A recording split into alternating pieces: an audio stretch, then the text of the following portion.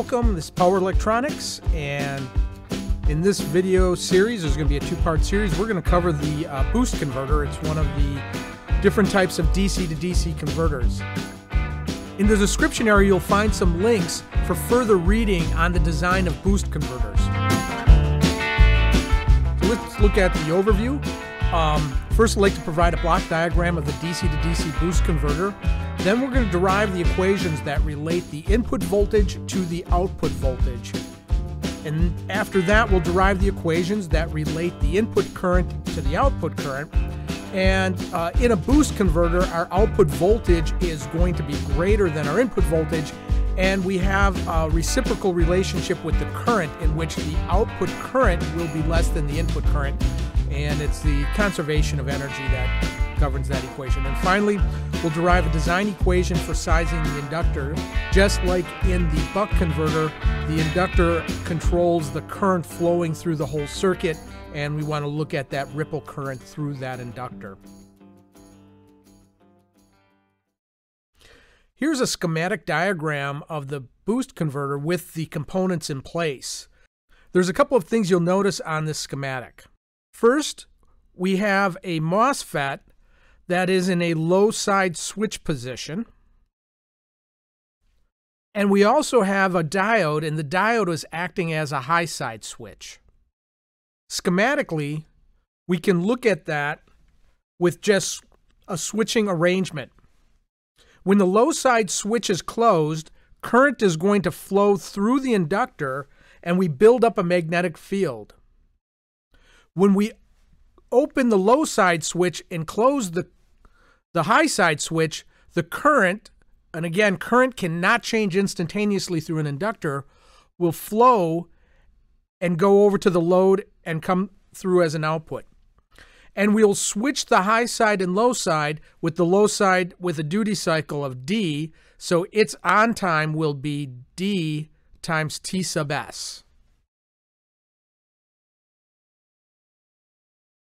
Now let's look at the node voltage because we want to derive an equation that relates the output voltage to the input voltage. We'll make some assumptions. Uh, like in the last videos on the buck converter, we assume that the current flowing through the inductor is continuous, so we are in what's called continuous conduction mode. We assume that the output voltage and the output current are both constant, so I, IO is constant and VO is constant. Now let's look at this node voltage VA. When the switch is closed, VA is basically shorted to ground. And when the switch is open, when we open this switch and then close the high side switch, our output voltage is the same potential as VA. So the node voltage at VA is oscillating up and down from zero to, to the output voltage with a duty cycle of, of D. And here's our switching period T sub S. Now let's look at the voltage across the inductor because this will allow us to obtain the equations for the current through the inductor. When this switch is closed, and the high side switch is open, the voltage across the inductor is the input voltage. When we open the low side switch and close the high side switch,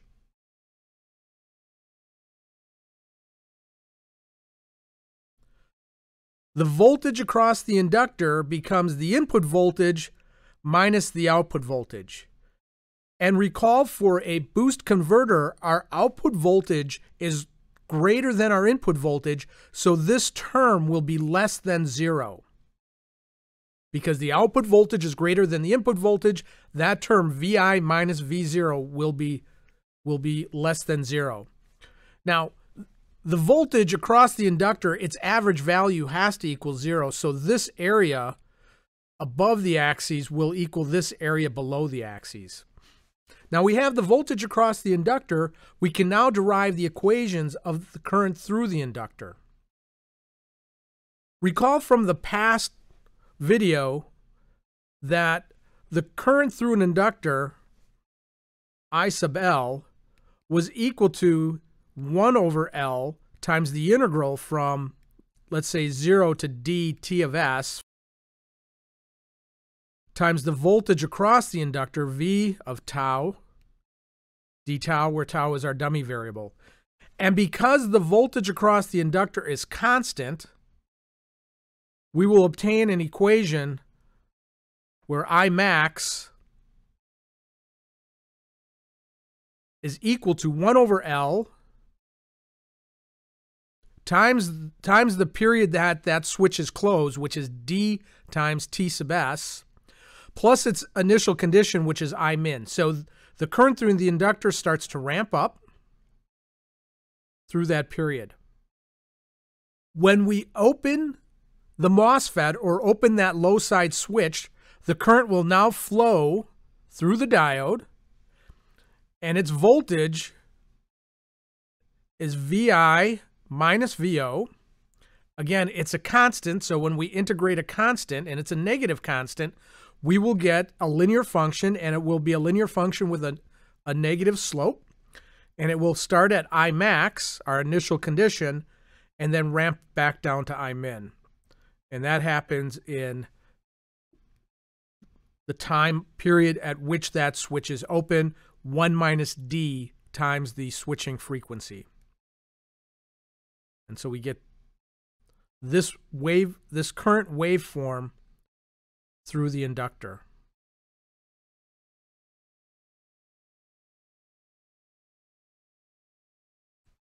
Using the equations for the current through the inductor, we can derive the input-output relationship. V out is equal to VI divided by 1 minus D, where D is the duty cycle of the low side switch. We do that by substituting I min into this equation. That results in I max is equal to 1 over L V in dTs plus 1 over L V in minus V out times 1 minus D TS plus I max. The I max on the left-hand side of the equation and the right-hand side of the equation cancel out. We can also divide or multiply through the equation by L, which will cancel out the L's, and divide by T sub S, which cancels out the T sub S, which leaves us with 0 is equal to Vn times D, the duty cycle, plus V in minus V out times 1 minus the duty cycle.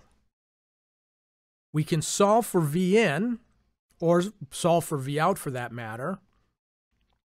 And let me rearrange it by placing that on the left-hand side. That results in V out minus V in times 1 minus D is equal to V in times D. Solving for V out, V out is equal to V in plus V in times D over 1 minus D, which is equal to, and if we do the math and cross multiply by 1 minus D, the D's then in the numerator will cancel out. We get V in times 1 over 1 minus D. And there's our equation up on top relating the input voltage to the output voltage. So the output voltage, provided that the duty cycle is somewhere between 0 and 1, um, obviously you don't want to go to those extremes of 0 and 1, and typically you don't go probably less than 20%, 30%, greater than, say, 70% or 80% uh, to, to obtain the input Now let's derive the equation for the in, that relates the input current to the output current. And for here, we assume that the power in is equal to the power out.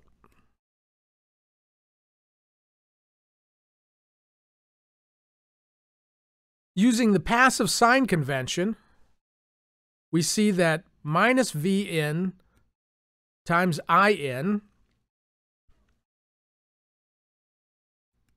plus IO times VO must sum to zero. Conservation of energy. So really this is the in, and, and one way to express this is the input power equals the output power. And so if we solve this equation, we see that V in times in is equal to I out V, v out. And we can solve for in. I in is equal to I out times V out over V in. But V out is equal to V in divided by 1 over D.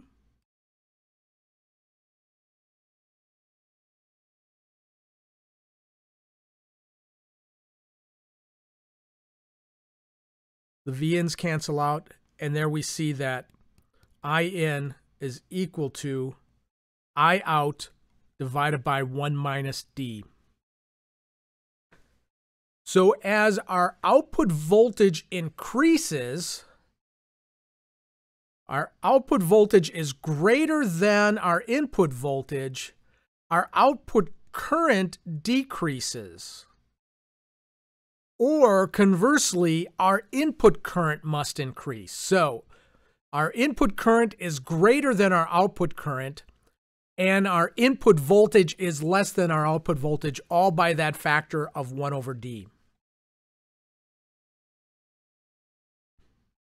Finally, we can get an equation that helps us to design the inductor based on the ripple current through the inductor, our switching frequency F sub S, our input, and our duty cycle.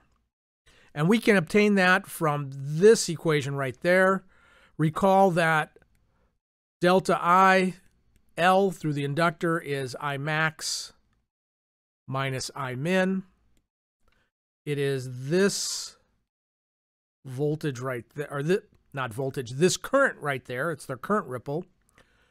And so if we take that equation and subtract I min from both left hand and right hand sides, we obtain I max minus I min is equal to 1 over L VI DTS. And solving for L and substituting delta IL into this equation, we see that L is equal to Vn times the duty cycle divided by the ripple current through the inductor and then I'm going to use the reciprocal of the switching period, which is the switching frequency. That's more typical to use that switching frequency. And there's our equation governing the size of the inductor given uh, the design of our duty cycle, our input, and our switching frequency. Let's review the key points. Uh, in this video, we presented the schematic diagram of the boost converter. It consisted of the main switch as a low side switch, which closed and shorted out that node A, and the current started to, to ramp up and flow through the inductor. And then we opened that low side switch. We used a diode as our high side switch, which automatically will conduct current when we uh, put the proper polarity across when we put the proper voltage polarity across the the diode and that diode conducted to the output. We assume the output voltage and the and the current are constant. Uh, we used constant output voltage for this one. In the next video we'll use uh, constant current to derive the uh, capacitor sizing. We also assume this was a continuous conduction mode and an average output current uh, uh, equal to I sub O. We obtained a relationship. Our output is equal to our input divided by 1 minus the duty cycle, where again, the duty cycle is the uh, duty cycle on the low side switch, which was a MOSFET for this example. And uh, the input current is equal to the output current divided by 1 minus the duty cycle. And we then obtained an equation on how to size or the appropriate size of inductor based on different design parameters that you would use in, in your boost converter uh, design process. In the next video, we're going to continue on and we're going to look at using these equations to size the capacitor and to look at the sizing for the MOSFET and the diode.